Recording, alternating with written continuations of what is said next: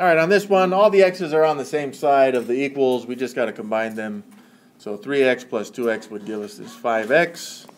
We still have the plus 7, and this equals 19. But we can't have the plus 7 there, so we've got to subtract 7 to both sides.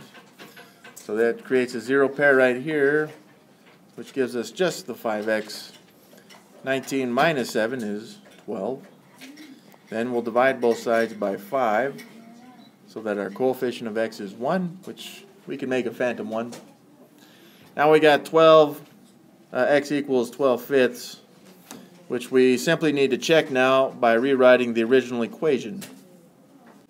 So there's our equation. Once again, we'll do multiplication first.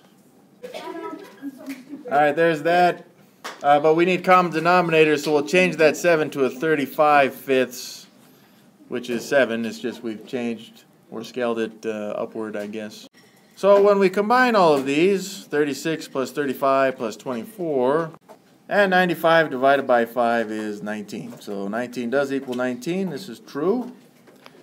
Since it is true, we know that our answer also is correct. So we'll just square that in like these. Now, if you made it a decimal, it'd be 2.4, but I highly recommend keeping these as a fraction on the test.